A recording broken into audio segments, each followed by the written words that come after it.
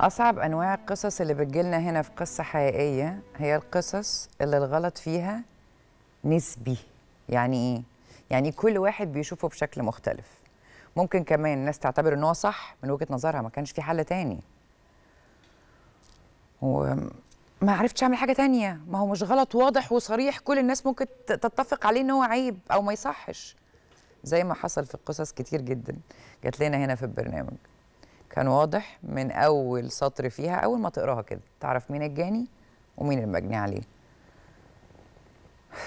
بس حكاية داليا بطل القصة حقيقيه النهارده تحس إن أبطالها كلهم غلطانين بدرجات مختلفة. مفيش عندهم أبيض أو أسود فيش كل واحد مننا ممكن يشوف قصة داليا بشكل مختلف من وجهة نظره. يعني والله والله والله. حتى وإحنا قاعدين بنصور إحنا مختلفين كلنا. هتلاقوا آه سبع تمن آراء مختلفة. وإحنا قاعدين حتى في الكنترول أو هنا يعني الكرو كله في قصة حقيقية. في ناس شايفين داليا مظلوم اتغدر بيها من جوزها. حب حياتي راح اتجوز مديرته اللي اكبر منه في السن عشان الفلوس مش عشاننا. وفي مننا شايفينها ظالمة هنا. إنها عايزة طلبات هات لي هات لي هات لي وبس. ما سألتوش. الفلوس دي اللي ظهرت فجأة دي النعمة اللي ظهرت عليك دي جت منين؟ وإحنا عمالين نقرأ القصة أول ما جت لنا. حد قال لي من فريق العمل هنا في قصة حقيقية إنه شايف إنه آه، الزوج ضحيه واحد ظروفه الماديه صعبة هيعمل إيه؟ لا قدامه حد بيمد له إيده عشان يساعده هو وعياله. والست بتضحي. يعمل إيه؟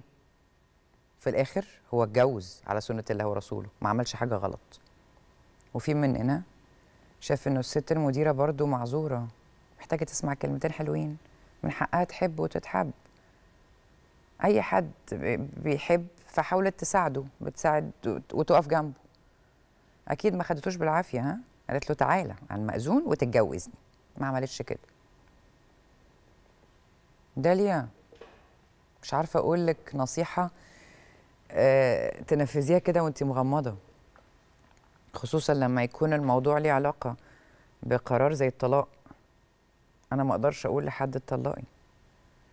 بس اسألي نفسك كده ما أنت قاعدة مع نفسك. أنا دايما بقعد أقول لو أنت خلاص شايفة الدنيا متقفلة وما قداميش حل تاني غير الطلاق لما بلاقي حد من صحابي مصمم يعني بقول لها لو اتطلقتي هترتاحي؟ هتبقي مرتاحة؟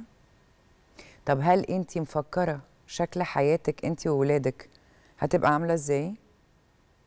هتعرفي تربيهم إزاي؟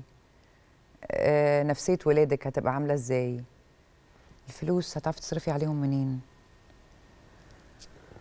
طب في الحالتين سواء بقى انت كملتي أو حسيتي انه لأ أنا عايزة أنفصل بهدوء. اني حالة فيهم هتوجعك أكتر؟ إنك تسيبي ولا إنك تكملي؟ هتقدري تتأقلمي مع إيه؟ إيه حياتك هتبقى أحسن فيها؟ في الظروف دي المفروض إن أنا بحكي قصة أو بقول لكم حاجة شفتها من الواقع. يعني غصب عنا إنه لما الواحد بيبقى مذيع فبيقعد يسمع الناس بتيجي تحكي له بيقعد مع أصحابه. ولازم إن إحنا بنكون إن إحنا مراية الواقع على قد ما نقدر. للأسف شفت قصص زي دي كتير قوي. يعني مش عايزة أحكي قصة بعينها عشان ما يزعلوش بجد. لأنه في ستات كتير قوي ما يهمهاش جوزها جاب الفلوس منين. آه، ما يهمهاش حتى لو واحدة بتقول له كلمتين حلوين بس يهمها إن هو ما يتجوزش عليها. ما تجيبليش واحدة تقعد معايا ويبقى راسها براسي. ده اللي أنا بسمعه. يعني انت موافقة إن هو يكلم واحدة بس ما يتجوزهاش؟ لو كانت الواحدة دي مديرته لو لو لو. لو هي في مصلحتنا كلنا. معقولة؟ بس أقولك على حاجة داليا أنتي مش هترضي بضيق الحال تاني. أقولك على حاجة كمان ما تزعليش مني. أنتي مش بتفكري غير في نفسك. بمعنى أنا منظري إيه قدام الست اللي جوزي اتجوزها؟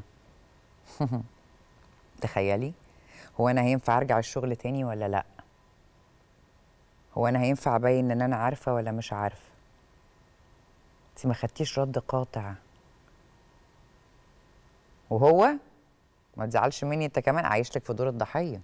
أنا ضحيت بنفسي عشان خاطر عيالي وعلشان تاكلوا وعلشان خاطر هل عشان إحنا ال ال ال الظروف المادية أو إن أنا عايزة أدخل عيالي مدارس لغات و وأعمل أحسن وأحسن أرضى إن أنت تبقى مع واحدة تانية؟ تتجوز واحدة تانية؟ واشمعنى أنا؟ ما تزعلش مني اللي هاجي أقول معلش يا جماعة الست عندها مشاعر وعندها أحاسيس ومن حقها تحب وتتحب ما تحليتيش لجوزي عشان تحبي وتتحبي؟ ده اللي أنا قلت لك الحل ما بين السطور وقلت لك انت بتفكري إزاي. وأي حد بيبعت لي هنا في قصة حقيقية عارفين إنه بينا محبة وبينا عشم وبقولهم لك من باب إني خايفة عليكي ماليش مصلحة تانية. حتى لما بقول كلام يوجع في وسط الكلام. بس انت عارفة انه لو أختي قدامي لو أنا عندي اخوات بنات كنت هقول لها نفس الكلام يعلم ربنا.